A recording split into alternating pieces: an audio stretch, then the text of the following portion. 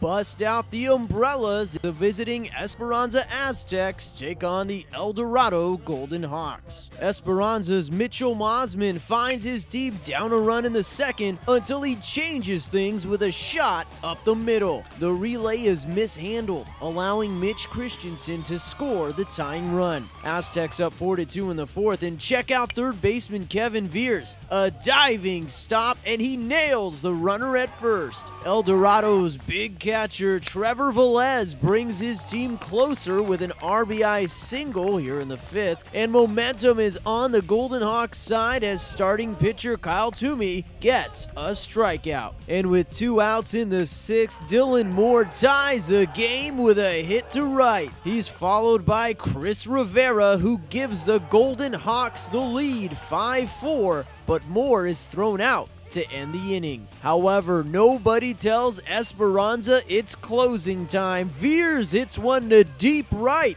He cashes in Brandon Morones to tie the game, but they're not done yet. Ryan McCall knocks in the go ahead run to take the lead 6 5. And get over here! Chris Connors with the comebacker and the win. Well, we're playing real well, and we started playing well last week. But of course, you saw how this game went, and uh, if the game would have gone another inning, then who knows who would have won. I think we're progressing more and more each day at practices, and we're getting better, and we're coming more close as a team. And you can see it on the field. We're gelling more, and we're making all our plays and not making any mental mistakes. Just having a good time playing. We're really coming together as a team, and every day, every win, we're really team bonds a lot more, and really getting stronger and stronger. So hopefully, keep winning our guys battled today, but the bottom line in the end, one team wanted to win more than the other, and uh, you know we got out coached, we got out played, we got out hit, we got out pitched, we got out classed. So uh, the bottom line is uh, we didn't come ready to play baseball this week.